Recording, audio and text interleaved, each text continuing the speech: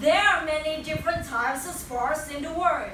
There are some popular sports like soccer and tennis, but they're not popular in North America. North Americans prefer to watch other kinds of sports such as American football and ice hockey. American football uses a ball that looks like a rugby ball. There are 11 players on each team, and young players wear special protective clothes. The most important player on the team is the quarterback. The quarterback throws the ball to the receiver or runner who catches the ball and runs to the goal ladder. On the other hand, ice hockey is played by many Canadians and Americans. Ice hockey uses a flat puck as a ball. There are six players on each team. The player wears safety clothes and skate.